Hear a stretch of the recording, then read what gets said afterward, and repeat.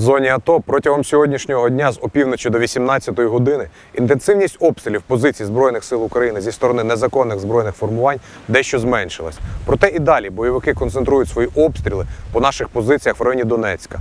Майже з першої до третьої ночі російські найманці били по опитному зі 122 мм артилерії, танку, 120 мм мінометів, стрілецької зброї. О 3.35 зі 152 мм артилерії агресори обстріляли Первомайське, а о 3.40 зі 122 мм артсистем Водяне. Практично з 12-ї дня і до 14-ї години бойовики гатили з гранатометів і стрілецької зброї по українських позиціях Пісках і Опитному.